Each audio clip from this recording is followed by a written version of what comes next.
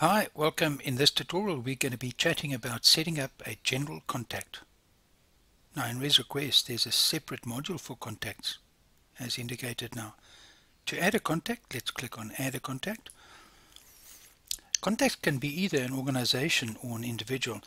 Let's assume that this is going to be a general individual. Just somebody that we want to have in the system. We'd set up their name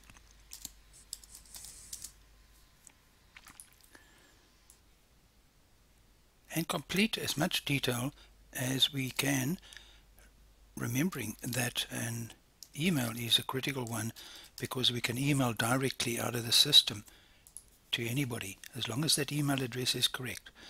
This now, as we're looking at it now, is a general page for entering any type of contact into your system where the changes will appear based on organization or individual is on the top right.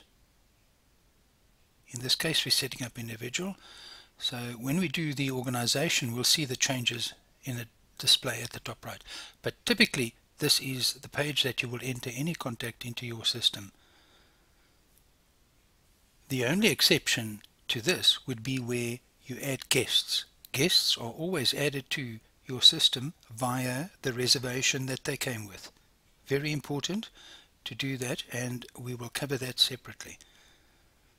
Once we've completed the uh, addresses as indicated below, we can then go ahead and save that record. That will now be saved as a general record and remember your system has got a duplication check and it's just asking you to check if this person doesn't already exist in those listed now. We'll add the new contact and that person is saved. This is adding a general contact to your system. Let's now go and add other contacts to your system, but not as individuals, as organizations. Let's go up, contact, add contact.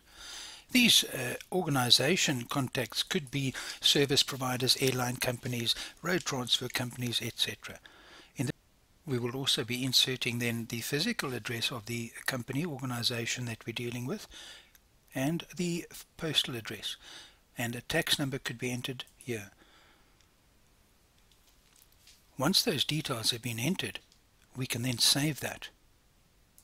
This will then be a general contact as an organization and providing road transfer for your clients. It's suggested that you add all organizations that you deal with as contacts organization in your system.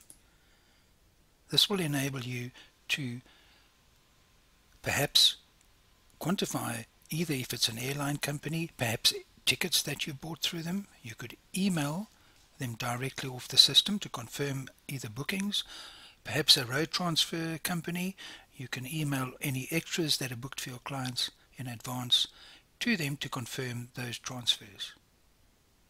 So set up all your contacts, either as individuals or organizations, and importantly, an email address.